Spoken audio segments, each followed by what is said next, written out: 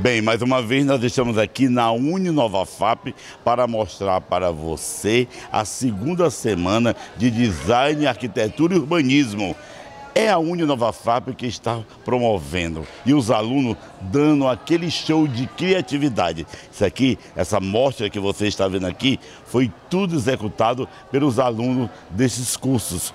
E a gente vai mostrar para você tudo isso e muito mais. Acontece também uma mesa redonda e vai ter também a escolha de trabalhos maravilhosos feito por esses alunos que entram no mundo da arquitetura e do design de interior.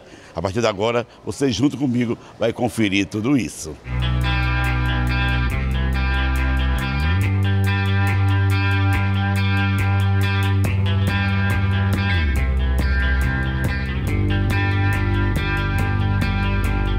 Dos profissionais que vai participar dessa mesa redonda é o Nani Costa, que ele é fotógrafo português e ele conhece o mundo através da fotografia, do design, as arquiteturas do primeiro mundo, dos países da Europa. Fala pra gente o que, que a gente vai ouvir aqui nessa mesa redonda. É muito importante a fotografia em arquitetura, porque ela ajuda a mostrar aquilo que o, o arquiteto projetou tanto a nível de temperaturas de cor como a nível de, de dimensão, de, é, ou em duas dimensões ou em três dimensões, aquilo que a gente vê ou que o arquiteto projetou no papel, no plano. E a gente vai, é, o fotógrafo realiza um trabalho com as super grandangulares que ele mostra todas as dimensões, coisa que a gente não vê no papel. Uhum. É isso que eu pretendo, pretendo mostrar como é que tudo isso nasce, né? Desde a gente fotografar uma cabana, uma cubata em África, até o expoente máximo da arquitetura em, na Europa e nos Estados Unidos e aqui no Brasil. Essa é a ideia que eu quero transmitir às pessoas, daquilo que eu sinto, daquilo que eu faço e por que é que eu faço. E os alunos vão ter a oportunidade de conhecer tudo isso, porque você viajou o mundo, conhece Sim. o mundo, né? E a, a, Europa, né, que é o berço da civilização, Sim. né? É muito interessante que quem faz arquitetura, quem faz design de interior, tenha a oportunidade. Seria bom que todos tivessem a oportunidade de chegar até lá para ver. Mas você está trazendo para eles essa experiência única Sim. através da fotografia. Se hoje na Europa a gente pode fazer bons trabalhos, é, é porque nós temos a parte antiga e a parte nova e o intermédio. Temos história para contar. E é isso que eu quero dizer a estas pessoas.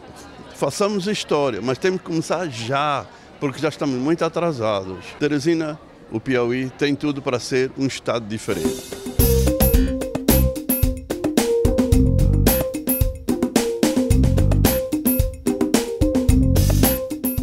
Nós tivemos como tema da Semana de Arquitetura e Design o tema sustentabilidade.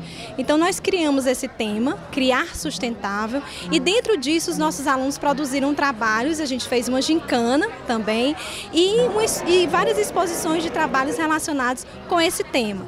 Então durante a, a, é, a Semana de Arquitetura nós tivemos também palestras relativas a esse tema e pudemos perceber é, que, cada um dessa, que cada uma dessas abordagens é muito importante importante enquanto aluno dentro da instituição, porque ele começa a trabalhar um pouco com a prática e não só com a teoria.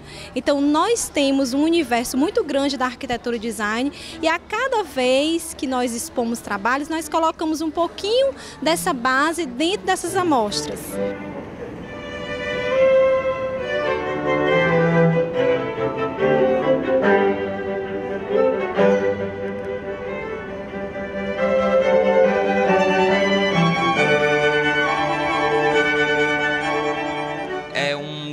Grande evento que nos possibilita criar com sustentabilidade, de estar em parceria com grandes professores na instituição e de mostrar um trabalho realizado é, na sala de aula que possa abrilhantar os olhos de quem veja e saber que a utilização do lixo, de coisas que a princípio não seriam utilizado, utilizados, sejam reutilizados de forma bonita e coesa com o que o curso de arquitetura diz, que é a sustentabilidade, é essa, esse cuidado pelo planeta em conjunto. Essa semana é muito importante né, para, para a nossa faculdade e para os alunos que estão inteiramente ligados à sustentabilidade e a tudo que acontece foi planejado por nós alunos. Então isso é muito importante, o espaço que a faculdade está nos dando para que a gente possa, aqui dentro da faculdade, crescer. Quando a gente estiver fora da faculdade, trabalhando profissionalmente já, a gente já tem um pouco mais de noção